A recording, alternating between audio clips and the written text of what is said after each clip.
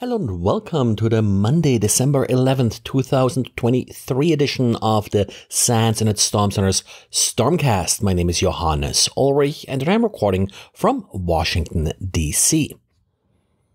Let's uh, take a look at diaries from this weekend. Uh, Didier published a diary with a URL we received from a reader that showed a somewhat interesting host name, starting with colon colon FFFF colon and then an IPv4 address.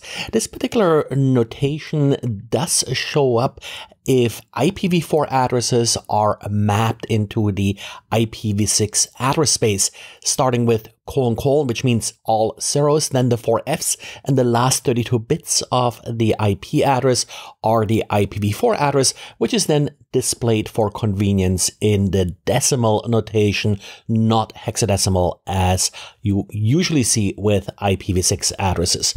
This format I've really only seen being used in some Linux distributions, for example, if you're running netstat. And the purpose of this is if your operating system or really the software that uh, accepts the connection is essentially using IPv6 only. That way, the operating system sort of rewrites IP addresses into this pseudo IPv6 format. These are not addresses that you ever should see on the network. And I'm actually a little bit doubtful if this will work in the URL like this. Typically, there should be at least like square brackets around it for an IPv6 address, but it isn't really an IPv6 address because the last four bytes are in decimal. I tried it here on my Mac quickly and it didn't really seem to work. It basically thought was a host name and of course didn't resolve it. This could very much be just a bug actually in the attack script that uh, somehow creates uh, these malformed IP addresses, for example, by pulling them out of netstat to kind of figure out, you know, what the other site's IP address is or what the local IP address is. So maybe a buggy piece of software. If you have any more insight, uh, well, uh, let me know.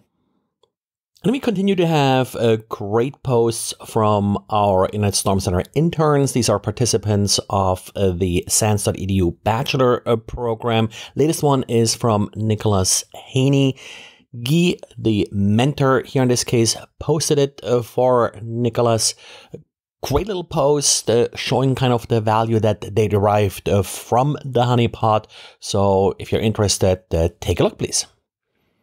It was just uh, last week that uh, at the dog park, actually, someone uh, was asking about wireless keyboards and uh, vulnerabilities there. We all know about the good old sort of USB uh, receiver based wireless keyboards that sort of used a simple one byte XOR encryption key that was trivial uh, to break. And that was sort of thought to be somewhat less of an issue for Bluetooth keyboards because, after all, Bluetooth has a reasonable good encryption uh, algorithm and so associated with it.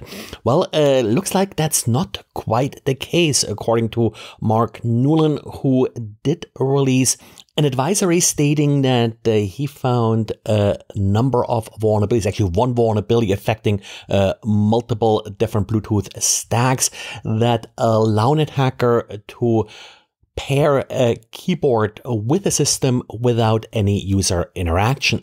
Typically, when you pair a new device, uh, you need to at least uh, press a button, sometimes confirm a pairing code or something like this due to implementation issues uh, in these Bluetooth stacks that pretty much affect everything sort of Linux, uh, Android, and Mac OS related. No confirmation is required, and the attacker is able to pair a keyboard and with that inject keystrokes. Now there are some uh, constraints here. The device has to be in pairing mode, which uh, typically requires again some user interaction, but for the actual pairing then no user interaction is required. Not a lot of details at this point. Uh, Android Linux patches are available. Um, Apple patches appear to be not yet available to fix uh, this vulnerability. So we'll see if Apple will release something.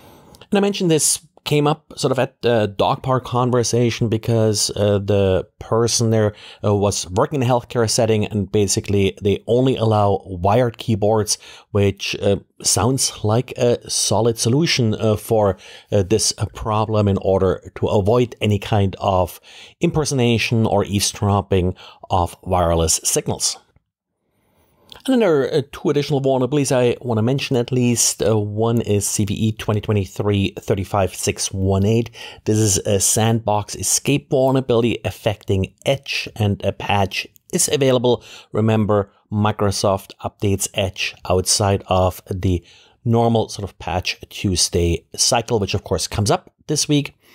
And then we have a CVE 2023-6248. This affects the Syrus 4 IoT gateway. Apparently, this isn't used frequently in vehicles and would allow code execution.